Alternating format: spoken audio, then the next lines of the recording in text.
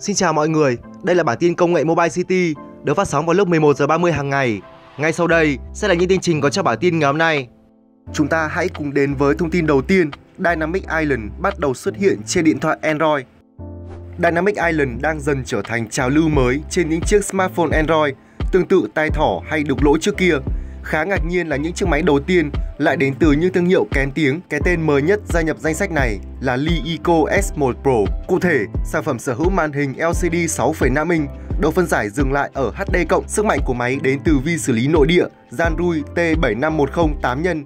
Viên pin được trang bị có dung lượng 5.000 mAh, sạc 10W, camera trước trên máy có độ phân giải 5 chấm, Cụm camera sau với cảm biến chính 13 chấm, thiết bị chỉ có một phiên bản bộ nhớ duy nhất là 8GB RAM và 128GB bộ nhớ trong. Do là được lấy cảm hứng từ iPhone 14 Pro, Liico S1 Pro cũng sở hữu thiết kế vát cạnh, cụm camera 3 ống kính và đặc biệt là Dynamic Island với những tùy biến thao tác dừng lại ở mức độ cơ bản. Chiếc máy này sẽ chạy dịch vụ của Huawei thay vì là của Google, nhưng điều này vẫn không có gì khó khăn với những người dùng tại Trung Quốc. Thương hiệu này cũng đã mở đặt trước sản phẩm với mức giá bán khoảng 3,1 triệu đồng.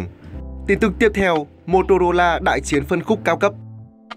Vào tháng 12 vừa rồi, Motorola đã tiết lộ chiếc điện thoại Moto X40 tại Trung Quốc và đã gây được ấn tượng tốt trên thị trường quốc tế. Giờ đây, một phiên bản khác mang tên X40 Pro của hãng đã sẵn sàng và hứa hẹn tạo nên nhiều cột mốc đáng nhớ. Bài báo Apple cho biết X40 Pro sẽ được trang bị chip Snapdragon 8 Gen 2, RAM 12GB và 256GB bộ nhớ trong Máy có thể ra mắt với màn hình OLED 6,7 inch và tốc độ làm mới 165Hz. Máy dự kiến sẽ có camera trước 60 chấm, ở mặt sau là camera chính 50 chấm hỗ trợ chống rung OIS và ống kính siêu rộng 50 chấm cùng ống kính tele 12 chấm. Sản phẩm được cung cấp năng lượng bởi viên pin 4600 mAh và sạc nhanh 125W. Chúng ta vẫn chưa thấy sự khác biệt giữa X40 Pro và Moto X40 và theo nhiều nguồn tin thì thực tế đây chỉ là hai phiên bản đổi tên của nhau mà thôi. Giá bán khởi điểm của S40 Pro sẽ rơi vào khoảng 21 triệu đồng.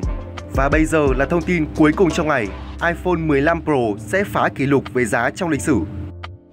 iPhone 15 Pro vào tháng 9 tới có thể phá vỡ mọi kỷ lục về giá bán dành cho một chiếc smartphone truyền thống. Theo dự đoán của các chuyên gia, mức giá thấp nhất sẽ là tăng 100 đô la Mỹ so với giá khởi điểm của iPhone 14 Pro.